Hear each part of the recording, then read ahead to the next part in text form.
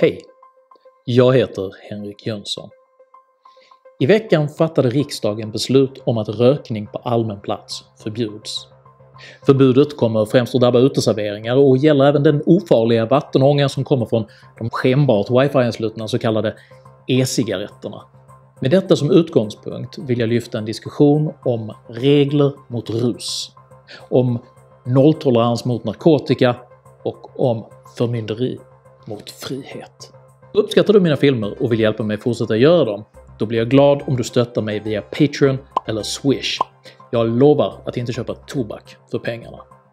Nu ska vi prata droger. Häng med!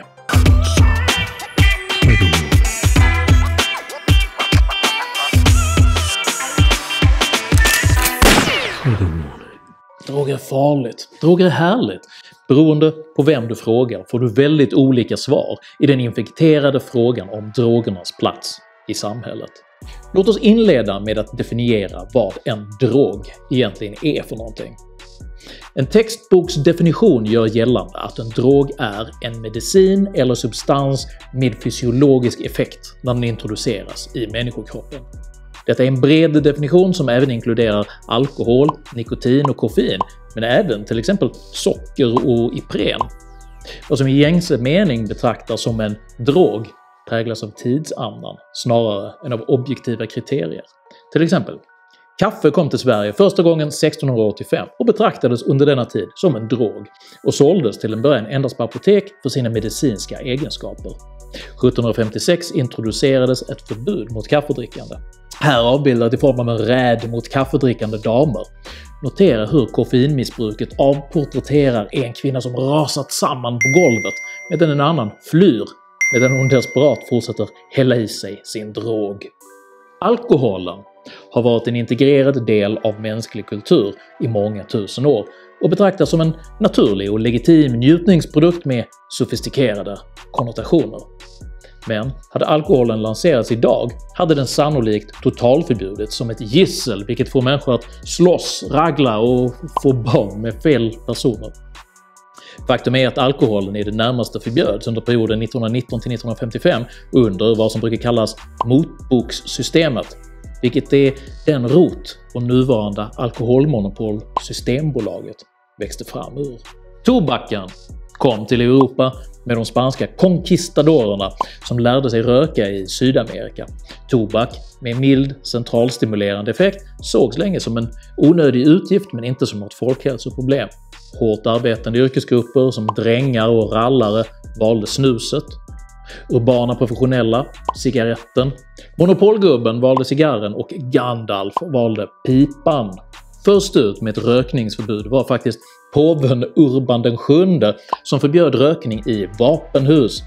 Det är svårt att inte i efterhand förstå hälsovårdligheten kopplat till piprökning i ett rum där krutdurkar förvaras.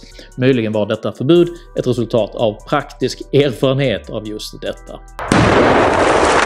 I veckan röstade så Socialdemokraterna igenom förbud mot rökning på uteserveringar och allmän plats i anslutning till till exempel perronger, busshållplatser och entréer. Lagrådet, alltså Sveriges laggranskande myndighet, har sin vana trogen varit mycket hård i sin kritik mot resterna av samarbetsregeringen. Den nya lagen har inte angett några avstånd som anger vad “i anslutning till” egentligen betyder. Rent tekniskt ligger hela universum i anslutning till busskuren på Jägersro i Malmö. Socialminister Annika Strandhäll, kvinnan som gett de strålkastarparalyserade rådjuren ett mänskligt ansikte, låter sig dock inte bekymras om lagens astronomiska metafysik, eftersom man är ute efter att förändra normer, vilket bara är ett identitetspolitiskt ord för att vilja fostra folket till att göra som man vill. Och rökning är ju farligt, så det är väl bra att man förbjuder det? Eller? Beslut rörande vad man bör och inte bör göra på en uteservering lämnas lämpligen till uteserveringens ägare att avgöra. Enligt marknadsekonomisk logik finns det nischer för serveringar anpassade för flera olika livsstilsval. Det går alldeles utmärkt att räkna hem den högre vårdkostnaden en rökare har genom prispåslag på hälsoförsäkringen istället för att förbjuda e-cigaretter på allmän plats. Lagarna slår ofta snett i sin antipati mot oönskade företeelser. Att man även förbjuder e-cigaretter vars ånga oftast innehåller mindre än 1% av de skadliga ämnen som förekommer i tobaksrök är mycket märkligt och sannolikt förankrat i faktum att man helt enkelt inte gillar idén om att folk röker. Oavsett om det är säkert eller ej. Ett av de mest talande exemplen på denna hållning är när dåvarande piratpartistiske Europaparlamentarikern Christian Engström 2013 konfronterade Bryssels antitobakslobbyister rörande varför mindre hälsovådliga nikotinprodukter som e-cigaretter och snus inte kunde accepteras om de hjälpte folk sluta röka cigaretter. Han fick svaret “Vår prioritet är inte skademinimering. Vi vill inte att folk ska röka. Samma absurda hållning har man även gentemot snus. Den dåvarande folkhälsoministern Gabriel Wikström, tidigare mest känd för att anse att sitta är det farligaste som finns, framhärdade i att även snus som rökavvänjningsmedel inte borde accepteras, under förevändningen att det inte ska göras någon skillnad mellan olika former av tobak. Ingen har dött av snus, enligt en omfattande forskningsrapport publicerad i den brittiska vetenskapstidskriften The Lancet. Passiv rökning orsakade 883 000 dödsfall under 2016 och totalt 6,3 miljoner människor dog till följd av rökning. Men inte ett enda dödsfall går att koppla till just snus. Ändå framhärdar man i att inte göra skillnad på tobaksprodukter utan bedömer snus på samma sätt som cigg. Som humoristisk knorr kan tilläggas att de moraliska lagarna mot rökning även utsträcker sig till lakritspipor. Åsikten är här att man kan förleda femåringar till att vi var lika coola som en gammal fiskaregubbe så att de börjar köpa riktiga snuggor och gå och suga på. Det kan låta lättvindigt att göra narr av denna prusilusk-orienterade förmyndarmoralism under förevändningen att försvara någonting så triviellt som att få röka på en uteservering. Men den moralistiska hållningen gentemot drogkulturen har blod drypande över sina förmanande händer.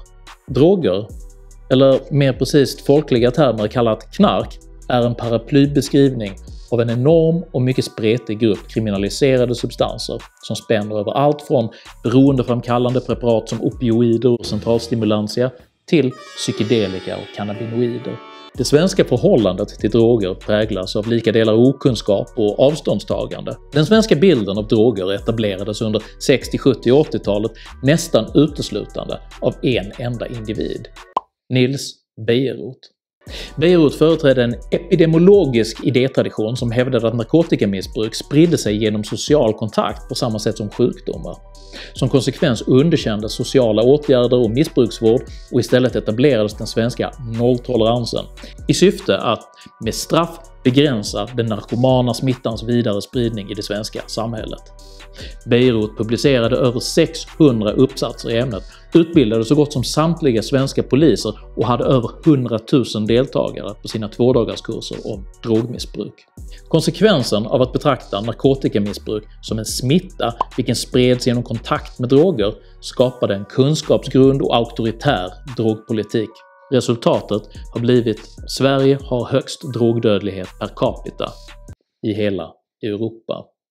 Drogmissbruk är inte en smitta och den hanteras sällan bra genom kriminalisering. Detta drogalarmistiska klimat tillät experimenterade individer som till exempel arkitekten Allan Rubin få fotfäste och ytterligare befästa den uppskruvade retoriken om drogepidemin. Rubin forskade helt på eget bevåg och fann droger vara roten till i stort sett vartenda destruktivt fenomen han observerade, från Baader-Meinhof-komplexet till vålds och sexporr. I nolltoleransens Sverige var det helt legitimt att en arkitekt på helt eget bevåg gav ut en ovetenskaplig stridsskrift med det hysteriska namnet “Inget är som drogen. Hasch, anarki och kaos hotar oss alla det är utifrån detta skruvade klimat vi måste försöka förstå och förlåta Beatrice Asks genanta okunskap. När hon 2014 misstog en satirisk humortext om epidemisk cannabisdödlighet i Colorado för nyheter. Även den första motion hon skryter om att ha lanserat i ungdomsförbundet doftar av Beiruts nolltolerans. Krossa knarket. I sammanhanget underhållande är att Ask nyligen även lyriskt twittrade om att hon hittat två Dayquil-tabletter i sin medicinlåda. Dayquil är en förkylningsmedicin baserad på dextrometofan, vilket är en disassociativ drog som olagligförklarades 2011 under Beatrice Ask. Som sagt är definitionen av vad som betraktas som en drog påtagligt flytande. Ask tänkte sannolikt inte “nice knark” när hon fann sina favoritpiller. Många av oss som växte upp på 70 och 80-talet fick i skolan träffa poliser som varnade oss för att “ett enda blås hashish kan få dig att fastna i ett litet rum inne i ditt eget huvud” och sen delade ut den extremt 70-talsdoftande skräckpamfletten “Ska du med och dra en braja, Micke?” Som konkret exempel på nolltoleransens linje är idag nässprayen Naloxon förbjuden eftersom den kan häva konsekvenserna av överdoser på heroin och andra opioider. Man fruktar att legitimera narkotikamissbruk om narkomaner skulle få tillgång till en medicin som kan rädda deras liv.